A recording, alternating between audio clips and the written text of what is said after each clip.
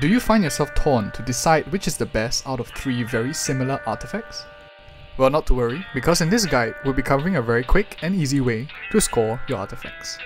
Now, gear scoring is not a new concept by any means, but it has been often overshadowed by prioritization of crit. However, with the rise of characters who use more than crit, I felt it was very timely to make a quick and straight to the point guide on gear scoring.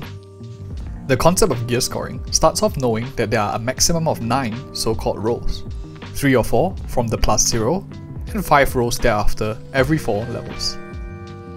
I'm sure most of you know this, but rolls have high and low rolls too. But a fun fact that many of you might not know is that rolls are actually made up of more than one decimal places. This is why a double max roll of crit damage is not 15.6.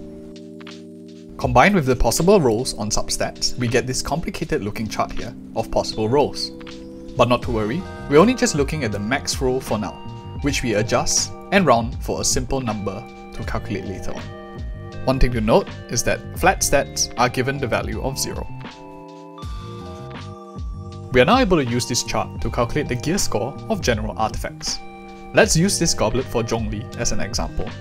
Zhongli is able to use all four substats, so we divide the substats by the respective allocated number on the left, and then sum up all the scores, giving us a total of a 8.1 gear score.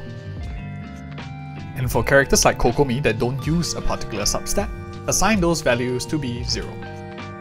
And back to the opening question, to decide which of the viridescent feathers are better, let's take Kazuha for an example and do a quick calculation.